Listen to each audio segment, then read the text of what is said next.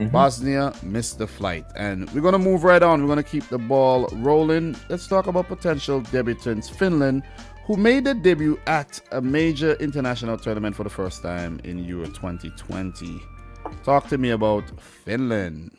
Yeah, Finland, a really exciting team to watch their their trajectory the last few years. Um, Euro 2020 was the first time they ever made it to an international senior men's tournament in their entire 80 plus year history.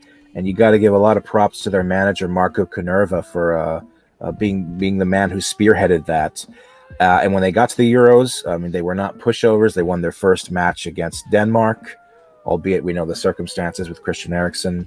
Um, they made life difficult for Belgium.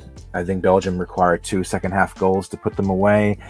I'm interested to see where this project continues to go. I mean, they're in a group with the same French team that they beat in a friendly last uh, year 2 0.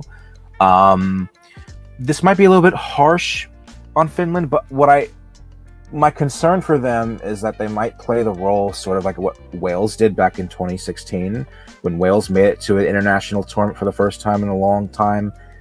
They turned some heads, but Wales were unable to really make a case for a World Cup qualification. I have Finland on miss the flight because I think they lack that pedigree. And I think they're lacking a little bit of that experience to really, really challenge for a spot. I wouldn't be surprised if they make it to the playoffs, but even if they did, I don't think they'll qualify. So miss the flight.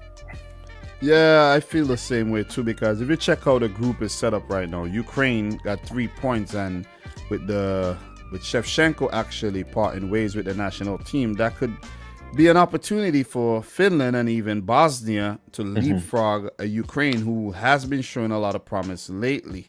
So I think they have the capabilities to make it to the playoffs, but could they get past whoever opponent, which, whichever opponent they meet in the playoffs? Finland, Finland could just be the team from Europe that that debuts at the 2022 World Cup. I, I won't I won't write them off completely. I'm gonna just put it out there, but I do have them as missing the flight, which